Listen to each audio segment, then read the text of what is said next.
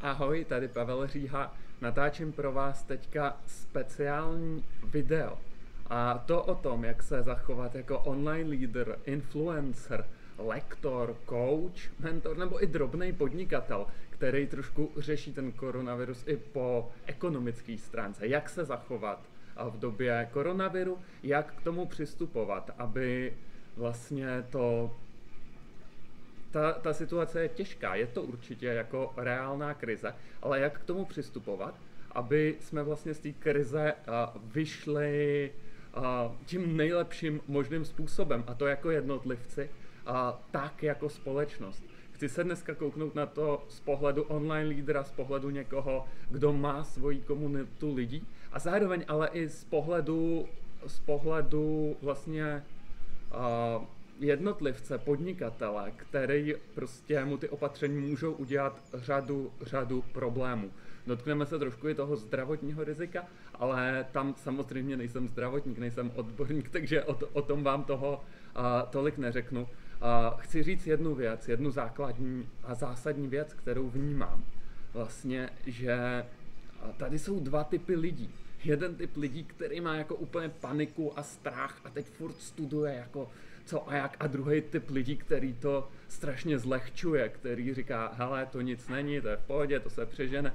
A já si myslím, že ani jedno z toho není pravda, že vlastně tu ta krize reálně je a je třeba se k ní postavit nějakým způsobem zodpovědně, ale ne na úrovni toho strachu.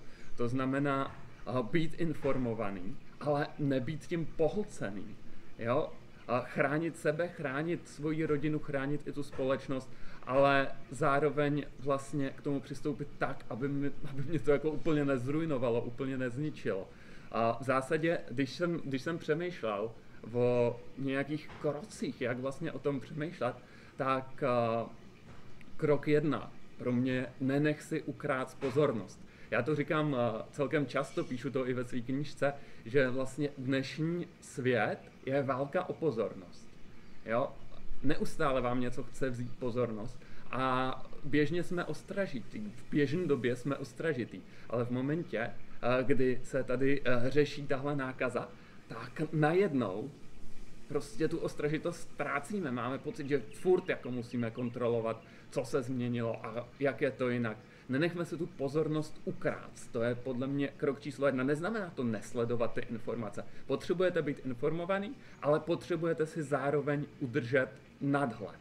Jo? O, to, o tom to je, to znamená, prostě jednou denně se na to koukněte, co, co je nový večer, se prostě koukne, koukněte, co se zase změnilo tenhle ten den, ale pak, pak eh, vlastně si udějte odstup, držte si nadhled protože je to nesmírně důležitý. A to je vlastně druhý krok. První krok, nenech si ukrát pozornost. Druhý krok, získej odstup, nadhled, protože z nadhledu nejde být v té panice a strachu. Jo? Odstup a nadhled je opak paniky a strachu. A vlastně odstup a nadhled je to, co potřebujete, pokud chcete postupovat strategicky, pokud chcete uh, ty věci vlastně jako i udělat správně, pokud chcete udělat ty nejlepší kroky, pokud se prostě chcete zachovat a racionálně. To neuděláte ve strachu a v panice, na to potřebujete odstup a nadhled. A to jak na té osobní úrovni, na té zdravotní úrovni, tak i na té biznisové úrovni, protože vlastně ty viry tu máme do určitý míry dva. Jeden, jeden samozřejmě zdravotní, druhý ekonomický. A pak je tu ještě třetí virus strachu, který vlastně my nemůžeme dopustit a vlastně i naší úlohou jako prostě lídrů, lidi, který mají, lidi, který mají komunity, lidi, který mají vliv na další lidi, protože předpokládám, že většina z vás, kteří mě sledujete, máte prostě svoje online komunity a vlastně lidi na vás dají. A máte tu moc předat nějakou myšlenku dál, tak ukázat vlastně, že vlastně jako uchovat si ten nadhled a zároveň nepodceňovat to riziko je naprosto klíčový. To byl krok dva. Krok tři si myslím, že postarej se prostě sám o sebe, jak zdravotně, tak, tak biznisově. Stejně jako v letadle si nejdřív máte nasazovat masku vy a pak postarej se o ostatní, to je krok čtyři.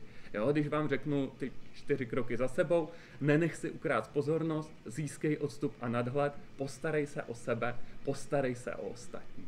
Jo, a teď jak to udělat? Možná, že řada z vás prostě eh, třeba pořádá reální semináře, jo, reální živý akce. A možná jste v tom měli spoustu peněz, zaplacen zálohy, teď to musíte zrušit, předělat. A možná, že je váš biznis eh, zasažený jakýmkoliv jiným způsobem. Obrovský množství biznesů v tuhle tu chvíli bude zasažen.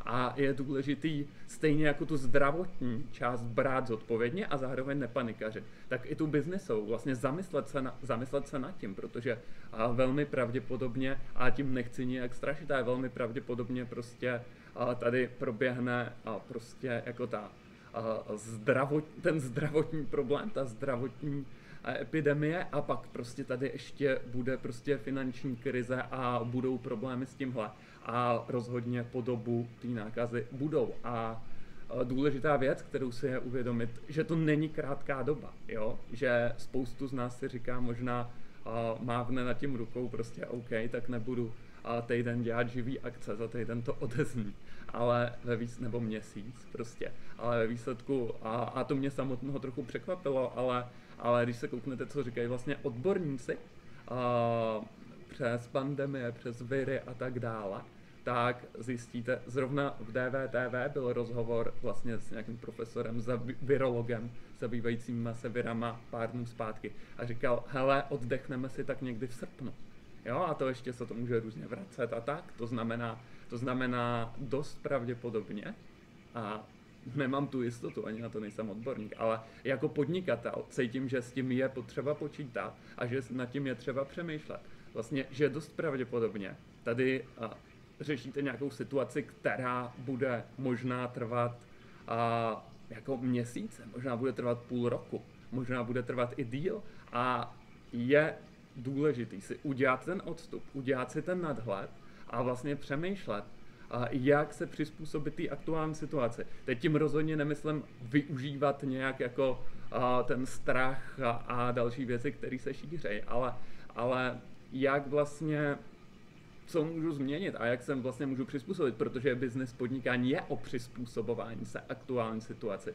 Jak se můžu přizpůsobit, aby moje podnikání přežilo, abych měl příjem, aby mě to nedostalo do nějakých velkých a ekonomických problémů. To si myslím, že je důležitá věc a pokud teď prostě jste doma, protože všechno je zavřen, tak tohle to je nad čím, nad čím jako stojí za to přemýšlet. Jo, není to o tom si pustit telku, anebo prostě sjíždět uh, informace, které vám vyvolávají strach a být si v panice doma a hltat potom další informace. Je to ideální příležitost prostě se zastavit a udělat si ten plán z nadhledu, zamyslet se nad tím, co s tím budete dělat, co můžete udělat jinak, naučit se nové věci, jo, zdokonalit, zdokonalit se ve věcech.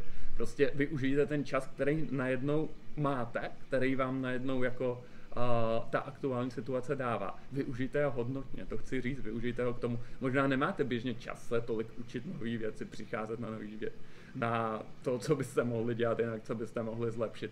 Teď je ten prostor. A zatímco jako velká část lidí bude prostě v panice a strachu a bude si pouštět doma televizi, aby na to zapomněli, tak je důležité to uchopit jinak. Vlastně a je to ideální čas pracovat sám na sobě, pracovat na svém podnikání, zamyslet se nad novými strategiemi a udělat si zároveň jako nějaký plán, který vám pomůže přemostit tohle těžký období. Uh, to si myslím, že je uh, extrémně důležitý. Jo? Uh, v tuhle tu chvíli je potřeba vnímat celou tu krizi z nadhledu, protože tak jí co, tak jí jako překonáte s co nejmenšíma oběťma, ať už v jakýkoliv oblasti. A zároveň si myslím, zachovejte prostě pozitivní mysl, vděčnost a nějakou víru v budoucnost. Já vím, těžko se to říká, ale a, jako myslím si, že teď je kdykoliv je víc důležitější než kdy jindy. Prostě se jako stanovit nějaký rituály vděčnosti, uvědomit si prostě, uh, co je důležitý, za co můžete být vděční, co je ve vašem životě v pořádku a co jako tam teďka máte a naladit se na ten přítomný okamžik, naladit se vlastně na tu nějakou vděčnost a zároveň pozitivní víru, že je to prostě těžká situace, ale že se to zvládne. A nejenom se na to nalaďovat, ale zároveň, co se týče toho pozitivního myšlení, udělat akci. Jo? Udělat akci, aby se, aby se něco změnilo. Prostě pokud může, můžete prostě teď jako na půl roku dopředu uh, zrušit své semináře, zavřít své pobočky a tak dále, protože, protože to prostě jako reálně hrozí, tak co s tím uděláte, jak to uchopíte jinak. Samozřejmě online se nabízí, ale jak to uchopíte jinak, aby aby vlastně vás to úplně nepoložilo. Je to důležité si nad tím sednout a vlastně to zhodnotit a zároveň nepodlíhat té panice a strachu. Vzít to jako něco, co prostě tady je a teď se s tím musím vypořádat. Protože jste podnikatel, jste lídr a podnikatel a lídr to, co dělá a co ostatní lidi nedělají, je, že řeší problémy. Jo? Že přichází vlastně eh, s řešením, že se nebojí převzít zodpovědnost nejenom za sebe, ale i za ostatní lidi, protože většina lidí jako nechce zodpovědnost a vy a, vlastně jako lídr a, potřebujete převzít tu zodpovědnost i za ty ostatní a vlastně jim ukázat a, trošku cestu. Takže tohle to je vlastně poslední věc, kdy jsem říkal ve čtvrtém kroku, postarej se a ostatní. Teď jsme vzali pos, prostě, teď jsme řekli, nenech si ukrát pozornost, získej odstup a nadhled, postarej se o sebe. Tak poslední věc, poslední vzkaz, kterou pro vás, který pro vás dneska mám, je postarej se o ostatní. Co to znamená? A pokud máte jakoukoliv onlineovou komunitu, pokud jste prostě nějaký mentor, průvodce, influencer, aha, online lídr jakýhokoliv typu, tak je vlastně v tuhle tu chvíli vaše zodpovědnost a předat tuhle tu myšlenku dál, pře- pomoct lidem vlastně se dostat z paniky a strachu do toho nadhledu a zároveň a vlastně akceptovat vážnost situace, uvědomit si, že jako se to děje a že je k tomu se třeba nějak postavit. Vlastně ukázat těm lidem, aby se za, přestali tomu posmívat, na druhou stranu přestali mít paniku, ale aby za to nějakým způsobem převzali zodpovědnost a začali nad tím přemýšlet z nadhledu a konat akce, které potřebují k tomu, aby se postarali o sebe a zároveň, aby se postarali a o ostatní. To znamená, tohle je klíčová věc, zatímco prostě doktoři, zdravotníci, policajti, hasiči, dokonce i politici prostě řeší tu situaci z hlediska toho, jak to všechno zvládnout, jak to uspořádat po té zdravotní stránce. Jo, tak váš úkol je vzít vlastně tu situaci mysli, tu situaci vlastně mindsetu, nastavení lidí a vlastně tohleto pomoct zlepšit. Máme tu virus zdravotní, máme tu virus ekonomický, ale nemůžeme si dovolit prostě virus mysli, nemůžeme si dovolit virus paniky a strachu. A to je to, co potřebujete, co je vlastně vaší úlohou. Pokud jste influencer, pokud jste mentor, pokud jste coach, pokud jste poradce, pokud máte komunity lidí, pokud jste online leader, pokud jste expert a vlastně promlouváte k dalším lidem, tak tohle to je vaše část odpovědnosti, vlastně tohle a předat dál. A to znamená, puste se do toho, a nejdřív se postarejte o sebe, dostaňte se vy do toho nadhledu, jo, a nenechte si ukrát pozornost, získejte odstup a nadhled, postarejte se o sebe a postarejte se o, so, o ostatní, převezměte tu, tu odpovědnost, vezměte tu svoji a roli lídra. A vážně a sdílejte tyhle ty myšlenky, pokud vám dávají smysl, a pokud a, souhlasíte, že tohle je důležitý, protože a, pravděpodobně je to jako začátek nějakého těžšího období, jak zdravotního, tak jako ekonomického, ale možná, že konec prostě budou týdny a měsíce a je třeba to vzít vážně, je třeba se k tomu postavit jako lídr, jako prostě mentor, jako někdo, kdo má ten nadhled a předává ten nadhled lidem i dál. Tak jo, to je za mě všechno. A napište, napište mi, když tak, do komentářů, jak tu situaci vnímáte, co je důležitý podle vás. A držte se, zvládněte to ve zdraví, zvládněte to vlastně v tom nadhledu a pozitivním nastavení mysli, zároveň s respektem ke všem těm věcem, které jsou důležitý, s respektem k celé té situaci, k celé té krizi. Ať ji všichni zvládneme co nejlépe. Mějte se fajn a ahoj.